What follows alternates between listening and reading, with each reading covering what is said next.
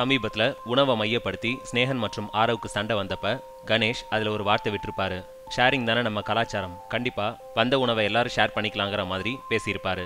அதை விமர்சனம் பண்ணும் வகையில் ஷேரிங் நம்ம கலாச்சாரம்னு கணேஷ் சொல்கிறாப்ல அப்போ அந்த ரெண்டாயிரம் முட்டை எங்கே போச்சுன்னு வேடிக்கையாக கேள்வி ஒன்றை கேட்டிருக்காரு.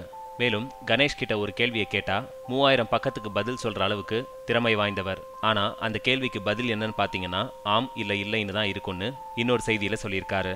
மேலும் சாகரவரை ரைசா வெறுக்கிறதுக்கு நேத்து ஒரு வேலிட் பாயிண்ட் கிடைச்சிட்டதாகவும் கமல் சாரையே மதிக்கல.